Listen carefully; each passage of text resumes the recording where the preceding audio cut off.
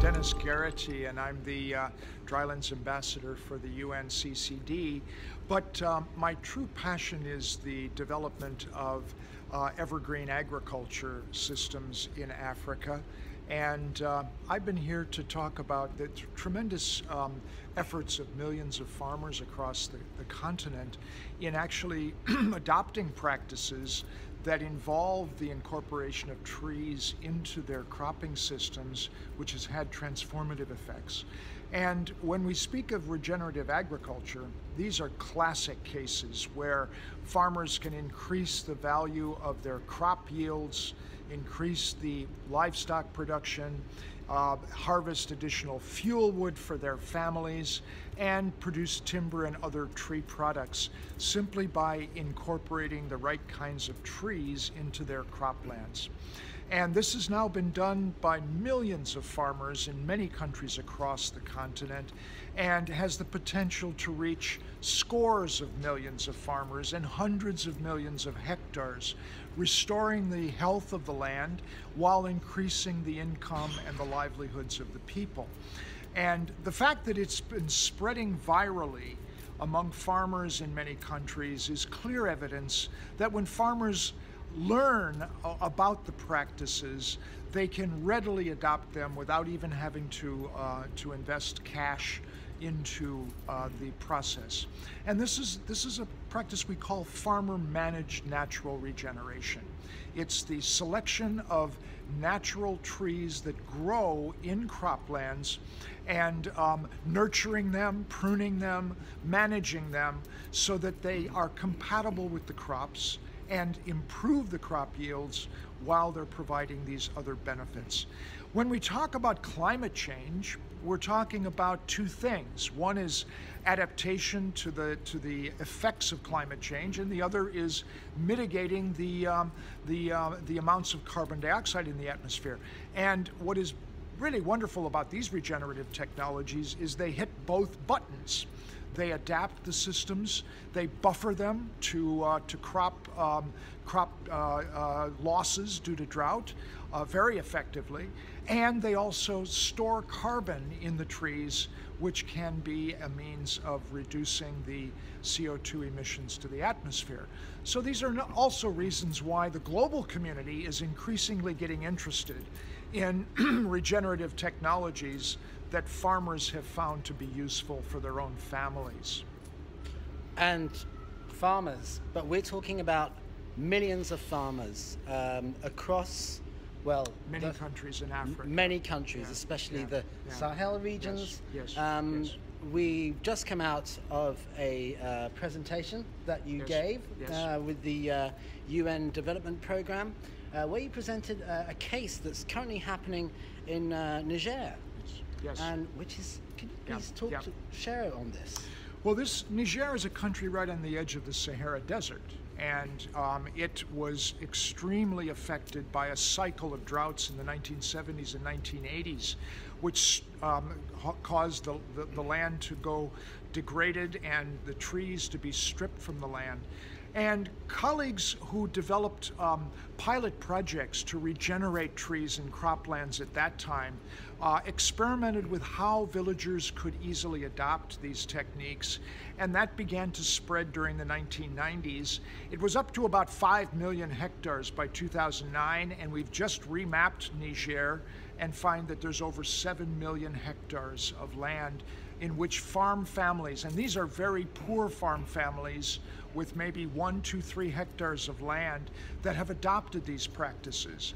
So knowing that this is about the poorest country in the world, we are confident that practices of this nature can be adopted by millions of farmers in countries uh, all over the world, and particularly in the drylands of Africa. The evergreening technologies that I'm speaking about, the natural regeneration of trees in croplands, has dramatically improved the food security of these families because they can produce more uh, of their grain crops more reliably with, with, with, um, with, with drought stress. So um, it has been a, a, major boon to food security in Niger. And, and so you were showing us a, a map earlier on um, where it really shows that there are two um, there are two parts of Africa. Mm. So mm.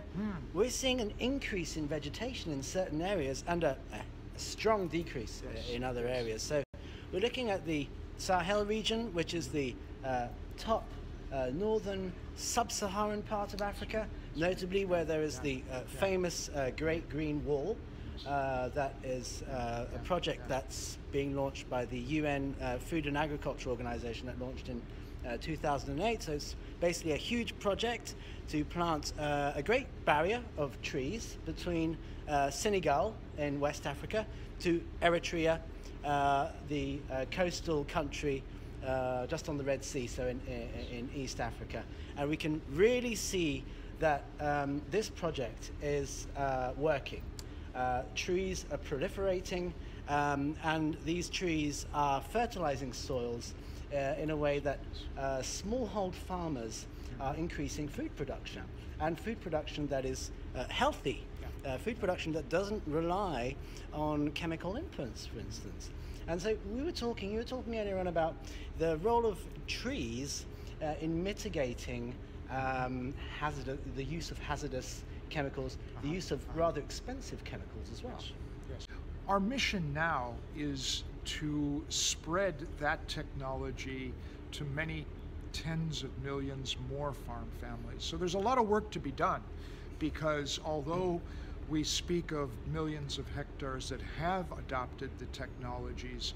There are many, many millions of hectares that are still um, uh, in need of uh, land restoration, and many millions of people who are still unaware of the technologies that could help them to restore the health of their land. Mm. So we've got a big, big mission ahead of us yet, and uh, lots and lots of work to do. Uh, soils store uh, five times uh, more carbon than the atmosphere can. Um, it can also uh, store nitrous oxides, uh, methane by developing uh, little tiny creatures that we call methanotrophs. So it depends on certain parts of the world. I'm not an expert when it comes to African soils, um, but I'm sure there's a huge potential there. now, when it comes to um, the Paris Agreement, countries getting together uh, to discuss what's the what's the way out. How can we uh, reverse this the nightmarish mm. scenarios mm. that uh, are pushing that's mm. pushing our planet that's pushing yeah. populations uh, worldwide towards uh, an absolute disaster um, what's your message well um, one of the components of the challenge of climate change mitigation is to ramp up the use of these agroforestry systems. Now, there is obviously quite demonstrated potential of how enormous the potential is for farmers to integrate trees into their farming systems. Now, the issue with each of the countries, particularly in the developing world, is how much could we support the acceleration of that process. So governments could be instrumental in um, in meeting their commitments to the climate change um, uh, agreement by, in fact, developing um, their own uh, plans and investments in helping the farm families in their in their countries to adopt these evergreening technologies.